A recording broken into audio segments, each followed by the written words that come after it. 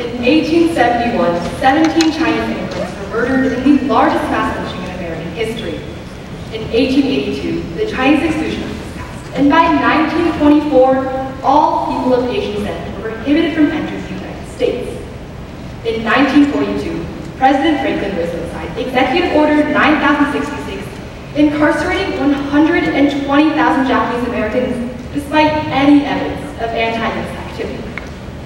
Although these acts of blatant discrimination have been repealed, barriers still remain. The stereotypes held against Asian Americans have prevented them from progressing, resulting in a lack of representation across all sectors of society. From Hollywood to the workplace and everywhere in between, the resounding message was Asians is clear. You don't belong here, we don't want you. From a young age, I noticed that very few people in the TV shows and movies that I watched looked like me. No one in Hannah Montana or The Wizards of Waverly Place had the same straight black hair, monolid eyes, and flat nose that defined my identity and how I looked.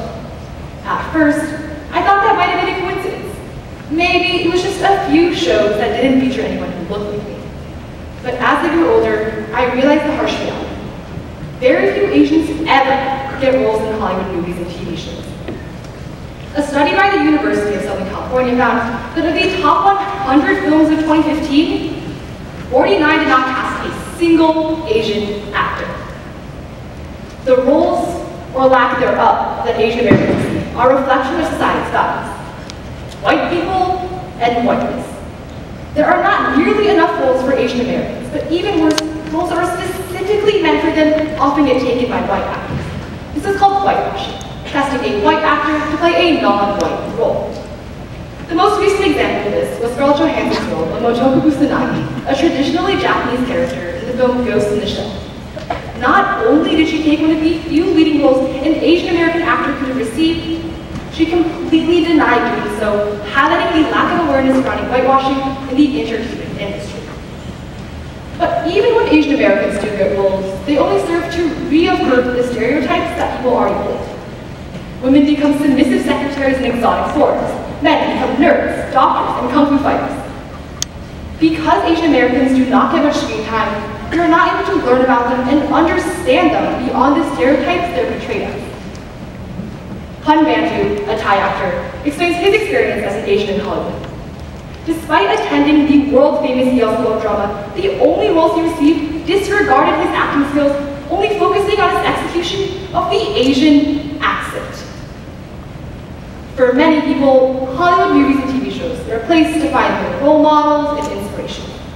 For my white friends, they have Hannah Montana. For my Latina friends, Alex Russo.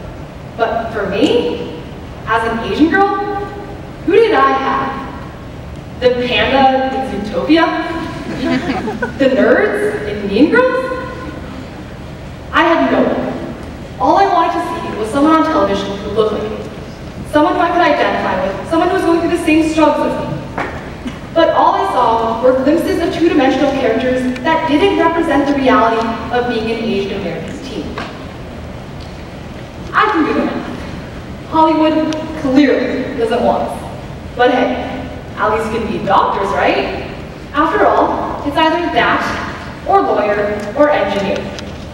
Unfortunately, reaffirming the idea that we can only be these professions is just as detrimental to Asian Americans. The idea of the smart, hard-working model minority has created an implicit bias that we are great thinkers, however we lack the assertiveness and communication skills to lead. Research has found that Asian Americans are 150% less likely than their white counterparts to be executives at large Silicon Valley companies.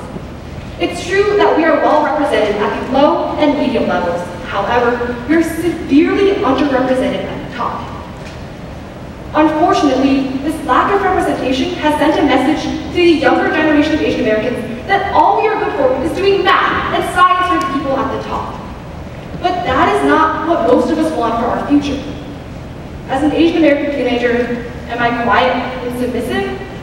No, I'm actually outgoing and I'm not afraid to speak my mind. Am I going to be a leader someday?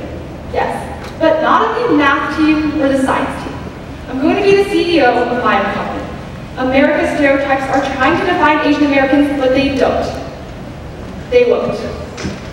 But even if I and other Asian Americans try standing up to these beliefs, they don't just go away.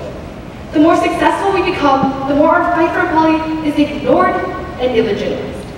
The more assertive we are, and the more we speak up, the more we are penalized for violating the stereotype of the submissive Asian.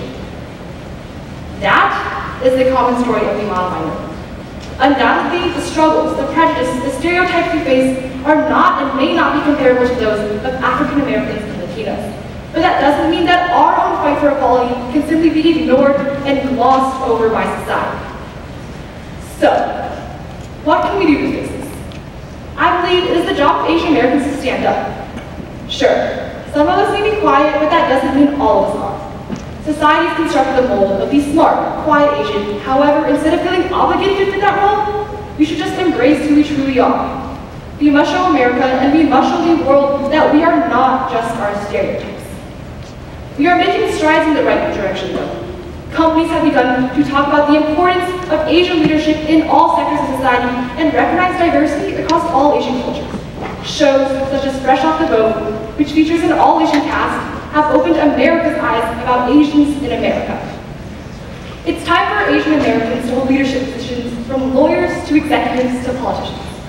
It's time for Asian Americans to be casted in their rightful roles and not as the local grocery store owner. It's time to shift the message away from exclusion and towards inclusion because we belong here and we are American just as much as you are. Thank you.